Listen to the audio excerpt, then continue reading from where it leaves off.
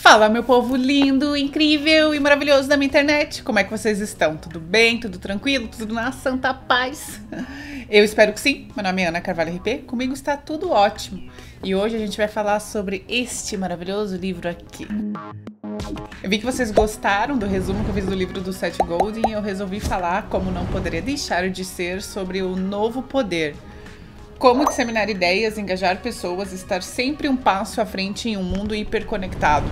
Esse livro ele foi um livro muito importante para mim também. Eu divulguei muito ele, né, para os meus alunos. Muita gente, muita gente mesmo me marcou, dizendo que estava lendo esse livro por causa das minhas indicações. Ele foi um, um divisor de águas para mim, assim, que foi o primeiro livro que eu li que tratava o marketing de uma forma um pouco diferente do tradicional, sabe? De uma forma que realmente conversava comigo, que batia com algumas coisas que eu acreditava. E foi muito importante para mim. Eu até fiz textos no LinkedIn, onde eu falava assim: ah, agora eu quero compartilhar, não sei o quê. E foi quando eu li esse livro que eu decidi que eu não queria mais trabalhar em agência, sabe? que eu não queria mais fazer parte de um antigo poder e queria começar a trabalhar num novo poder porque fazia mais sentido para mim. Esse livro, ele tem 319 páginas, mas ele tem uma leitura fácil, ele é pautado em muitos cases e ele começa falando sobre o que é, né, esse novo poder que ele defende, o que, que é, como é que ele funciona e depois ele fala como que você vai implementar isso na sua empresa. Quem gosta de comprar livro pela capa, com certeza compra esse, porque além de, de ter essa aqui de como disseminar ideias, engajar e tudo mais, aqui atrás também tem um textinho interessante, onde ele fala assim: um modelo de liderança descentralizado e colaborativo, uma sociedade inspirada por memes e movimentos sociais. Uma resposta do século XXI para a forma como encaramos o mundo. Bem-vindos ao novo poder. Ui, meninas! Então, Vamos lá, lembrando que o link para você comprar ele vai estar tá aqui embaixo, tá? O link da Amazon para você comprar este maravilhoso livro. Ele começa o livro nos dois primeiros capítulos já falando da diferença do novo e do velho poder. E ele deixa isso bem descrito, sempre pautado em muitos exemplos. Ele fala que a gente agora a gente está vivendo num mundo que é hiperconectado, que não tem mais tantas distâncias geográficas e que agora a gente quer participar de movimentos, que a gente já não aceita hoje em dia uma comunicação que vem de cima para baixo, que a gente quer participar, que a gente quer fazer parte. Ele traz um conceito de energia participativa, que é essas empresas que fazem com que todo mundo, com que a audiência participe daquilo que eles estão fazendo também, que as pessoas querem participar. E ele começa a trazer uma uma comparação aqui, um quadro que já tem uma comparação, não sei se vocês vão conseguir ver aqui, ó, tem algumas figurinhas no livro, meninas. E eu sempre rascunhando, né, desenhando bastante neles. Ele fala que as diferenças aqui do velho poder e do novo poder. No, no, velho poder, uma governança representativa, ou seja, cheia de camadas, cheia de burocracia, que vai de cima para baixo, enquanto no novo poder a gente tem uma governança informal, ou seja, em rede, que cada um vai fazendo a sua parte, todo mundo é o mais autônomo. No antigo poder existia muita cultura de competição, de exclusividade, enquanto no novo poder é muito mais colaboração, muito mais sabedoria coletiva. No antigo poder existiam os valores de conf confidencialidade, discrição, separação entre esferas públicas e privadas. E nesse novo poder ele fala muito sobre transparência radical. No velho poder valorizavam-se muito a expertise, profissionalismo, especialização, enquanto no novo poder existe muita cultura do fazedor, que todo mundo meio que faz um pouco de tudo. No antigo poder existia afiliação e lealdade a longo prazo, enquanto no novo poder as pessoas já não são mais tão fiéis, elas ficam pulando de galho em galho até encontrar alguma coisa que realmente faça sentido para elas. Daí ele começa a discorrer um pouco mais sobre cada um desses pontos nesses dois primeiros capítulos. E, eu, e o que eu gosto desse livro é que ele não tá meio que cagando regra, sabe? Ele tá falando que existem esses dois poderes e que eles coexistem. Ele não tá dizendo que o antigo é ruim, mas sim que é uma coisa que é antiga e que aos poucos vai se adaptando, mas que a gente precisa conviver no momento onde existem duas gerações brigando agora, que é a geração do novo poder e a geração do antigo poder. E ele faz uma comparação que eu acho bastante legal de jogos, né? Ele fala que são duas gerações, a geração Tetris e a geração Minecraft. Tetris é aquele jogo baseado em blocos, onde você vai encaixando as pecinhas até você perder para o sistema, né? Perder mais tarde para o sistema. Enquanto o, o, Minecraft também é um jogo baseado em blocos, só que você constrói o seu próprio mundo e você vai sempre jogando, você não vai perder, você vai sempre evoluindo. Então essa é uma belíssima de uma comparação que ele traz para ficar bem claro aqui na nossa mente da diferença do novo e do velho poder. Ele diz que as empresas que vão prosperar daqui em diante são as empresas que têm a capacidade de trabalhar essa energia participativa das pessoas. No capítulo 3, ele começa a falar sobre como as ideias se espalham nesse novo poder, e eu já falei sobre isso algumas vezes aqui, já faz tempo que eu falo sobre isso, acho que eu li esse livro em 2018. E, e, e, esse capítulo especial bateu muito forte em mim, que ele fala sobre a ideia ACE, que ele explica como que as ideias se espalham aqui nesse novo poder. Elas são acionáveis ou seja, elas fazem com que as pessoas tomem algum tipo de ação. Elas são conectáveis, porque elas conectam as pessoas. Eu posso fazer e pedir para o meu amigo fazer também. E elas são extensíveis, ou seja, eu posso fazer do meu jeito. E se você for ver os memes, eles são todos assim, né? Dá uma olhada nos TikToks também. Os TikToks também são assim. Uma pessoa, por que, que ela, por que, que um TikTok ele é acionável? Porque você faz alguma coisa, né? Você dança ali na frente da câmera. Por que, que ele é conectável? Porque todo mundo, todos seus amigos vão fazer a mesma coisa, só que cada um vai fazer do seu jeito, ou seja, vai ser uma ideia extensível. E isso, segundo os autores desse livro, né, que eu acho que eu nem citei, mas são Henry Timms e Jerry, Jeremy Heymans, eles dizem que esses são os três fatores que fazem uma ideia viralizar.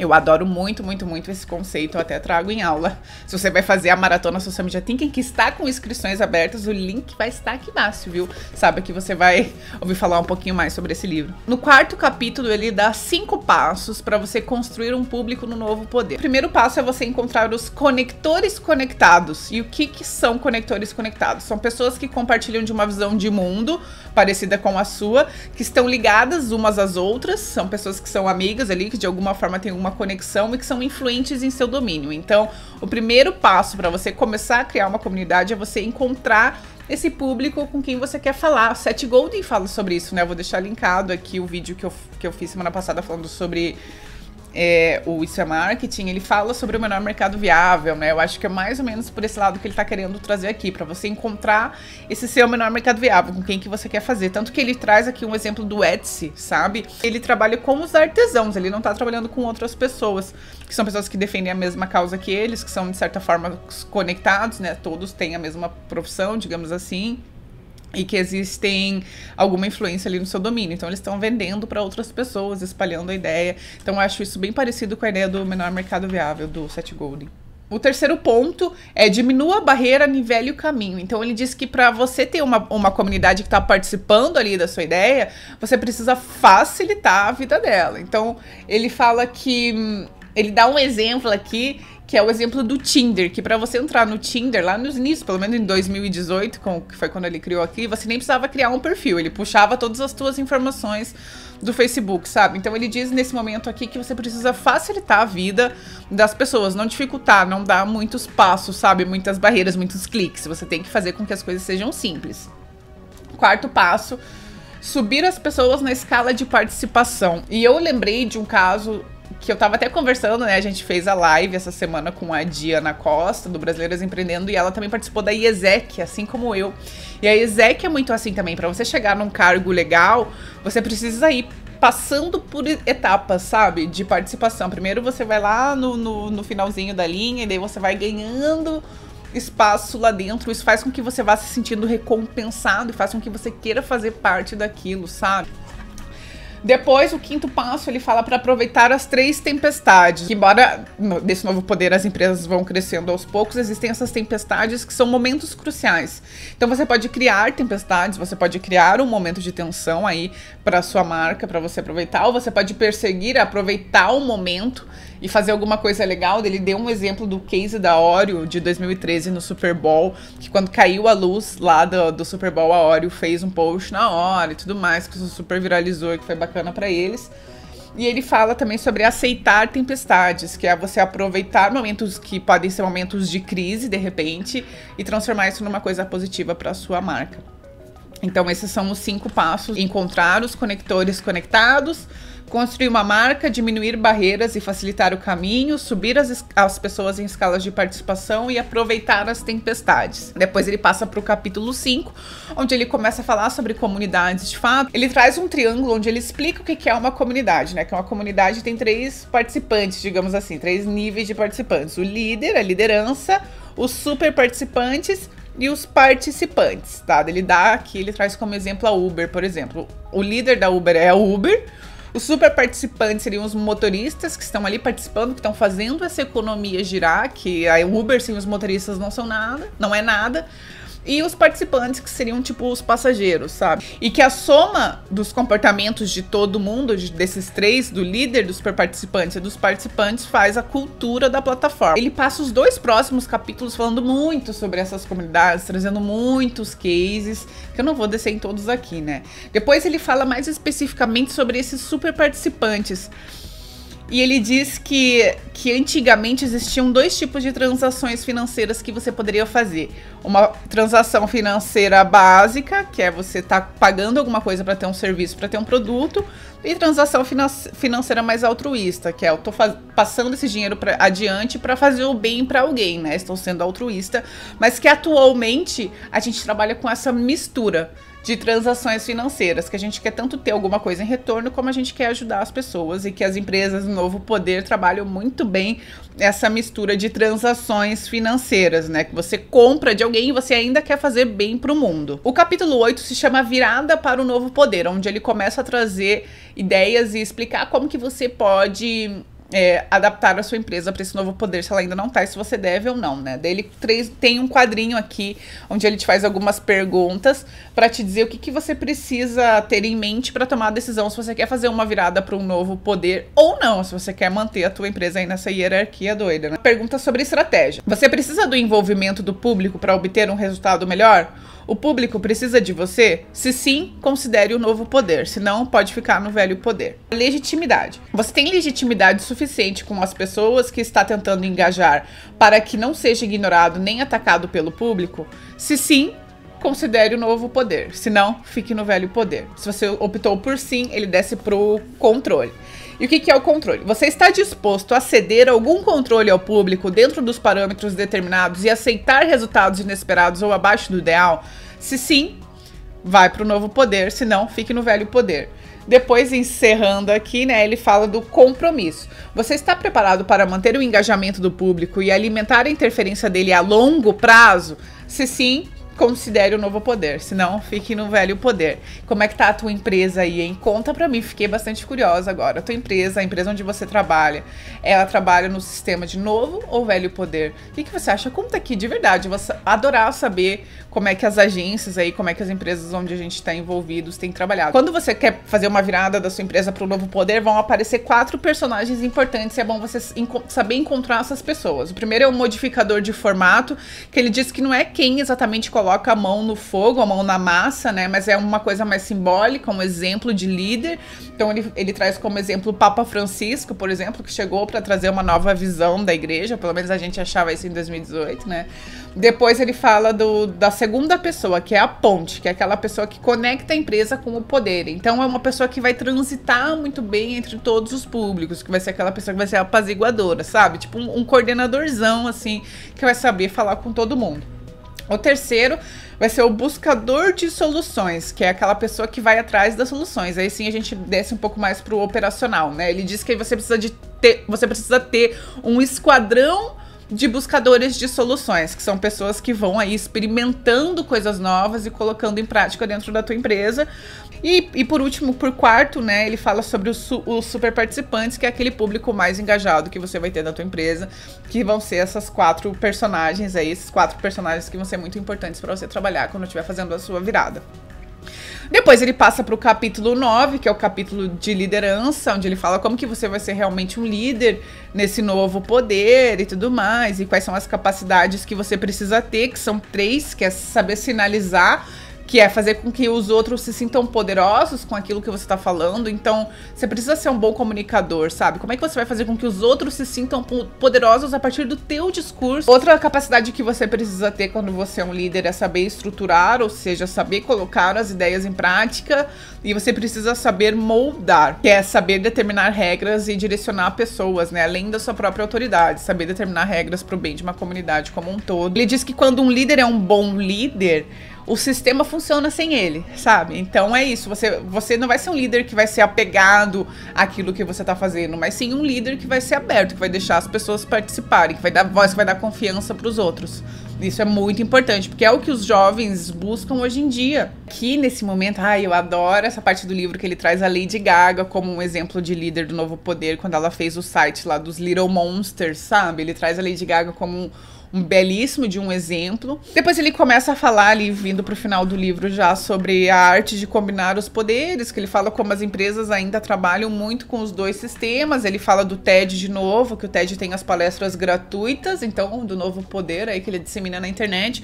Mas ele também tem uma coisa ainda que é muito de hierarquia, que ainda tem muito, muitas coisas que são pagas, então são empresas que misturam os dois poderes, que isso ainda existe. Por isso que eu gosto, que ele não tá cagando regra, né?